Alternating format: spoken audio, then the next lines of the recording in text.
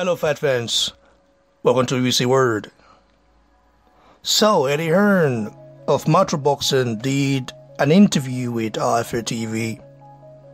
You know, in that interview, a very progressive interview, I must say, he talked about the signing of Chinese heavyweight prospect Zhilei Zhang.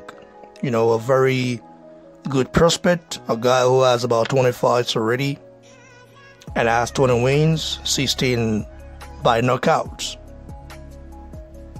Zhang Zhilei is a Chinese heavyweight prospect that's gonna check the heavyweight division very soon.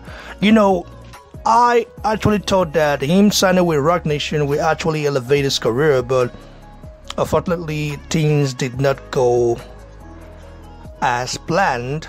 But now that he's with Eddie Hearn of Matchroom Boxing, I mean, he signed a co promotional deal with Eddie Hearn of Matchroom Boxing, so I think his career is at the right place. You know, this is what I want Efe Ajagba to do, but unfortunately, Ajagba still has years left in his contract, and after that one expire, I heard that Ajagba and Apochi are going to renew their contract with uh, and uh, Haymon. So they are not planning to leave uh, Haymon. Never planning to leave him. So, whereas the Poland, in my opinion, I think uh, one should actually seek further.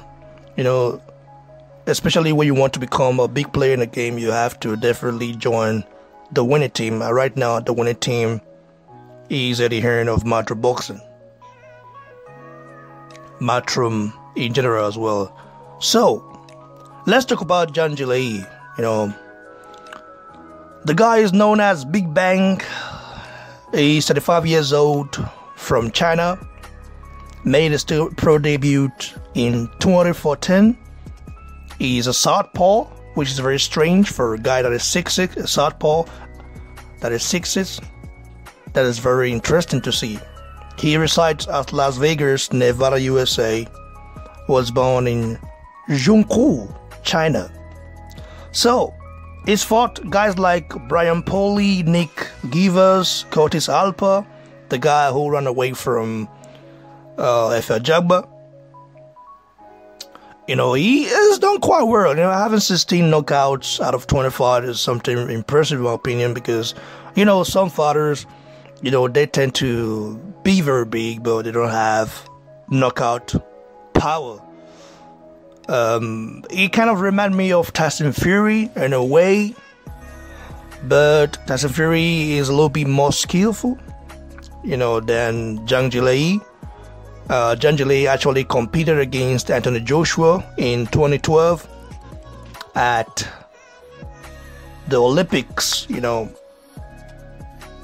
and Zhang Zhilei, uh, you know, stated at some point that he would like to see Joshua compete against him in China, which means Joshua can as well seek for the Chinese market. You know, if you can conquer the Chinese market, you can actually conquer the world because right now China is leading the world in many things. Okay, we all know that. Uh, we all know that the Chinese influence is growing bigger and bigger. People that used to be just like Africa are now much a much more in, in a much better position compared to you know to us, you know. But I, I think we'll get there anyway.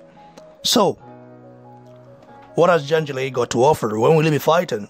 According to Mr. Hearn himself, Mr. Hearn stated that Zhang might be fighting next week you know, going in against Tom Lidu. You know, Tom Lidu is a guy that uh, is very derivative, you know, durable, and is a guy that actually knows how to fight. You know, he gave uh, David Price a very good fight until that fight got stopped. And I think he can actually do better, you know. Against Zhilei, we never know what we expect because Zhilei hasn't really been tested yet, but he's fought a couple of good guys, you know. His last fight was against Don Haynesworth Don Ainsworth is a guy that I I know. You know, uh, you know uh, when Don Ainsworth fought him, he had like 15 wins on his record and just two losses. So Zhang Zhilei actually knocked Johnny Ellsworth out cold in a very impressive fashion as well. So I can see what Eddie Hearn is trying to do right now. You know, Eddie Hearn is a guy who thinks very far compared to the rest of the promoters who call themselves the big dogs. Eddie don't just base, you know, his reach in the UK or the US. He actually want to reach out to the world, including to Africa, including to Asia, and the Pacific Ocean. So Eddie Hearn is doing a very good job in trying to elevate boxers like Zhang Zhilei career. Zhang Zhilei also remind me of, or not your day, what do you mean? The Godzilla. You know, Godzilla, we know, is an Olympian as well. You know, didn't really, um, uh, you know, get his name out there after the Olympics. I mean, the guy has some problems as well. You know, uh, he, he hasn't really been easy for Godzilla, but I think Godzilla, uh, we get there. I just think he can do it. So, Zhilei, I actually definitely be watching the fight and just see how he fares in general. You know, I have watched a couple of his fights. I think he's a very good heavyweight. He can actually fight and he can actually box, which is a little bit, uh, a little bit surprising, you know. But let's just see what happens, guys. Uh, I'm gonna be, uh, gonna be very, very um, alert and keep watch for his next fight against Tom Lidu or other opponent.